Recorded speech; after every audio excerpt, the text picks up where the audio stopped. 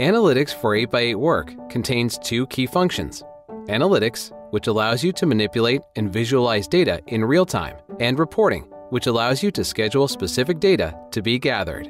It's a great tool for managers and supervisors to monitor agents' performance, retrieve customizable call data, and more.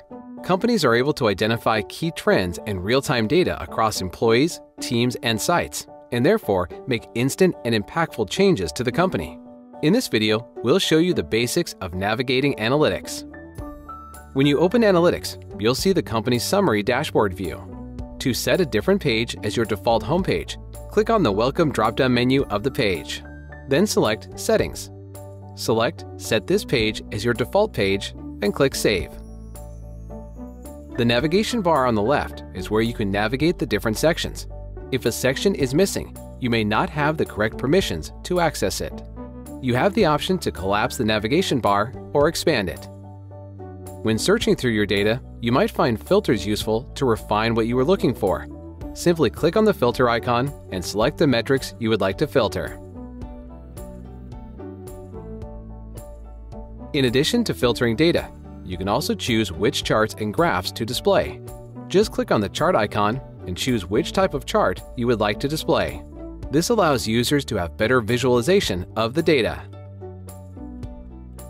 By clicking on the expand icon, you can view the chart in full screen and see the data points more easily, which is great for a presentation.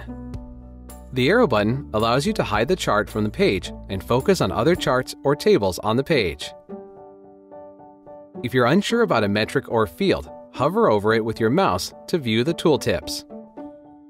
For some reports, you can even use the search bar to quickly search for specific data points or metrics, such as searching for a specific extension, caller ID, or call direction.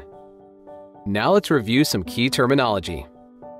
Calls are broken down by both what direction it was taken or received in and how it terminated. The three common directions are inbound, outbound, and extension to extension.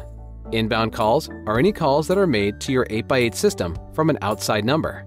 Outbound calls are any calls originating from your extensions and made to an outside number. Extension to extension calls are any calls made from one extension to another.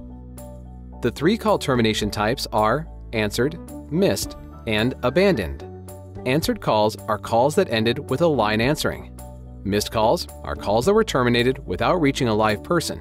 This includes both abandoned calls and calls that went to voicemail.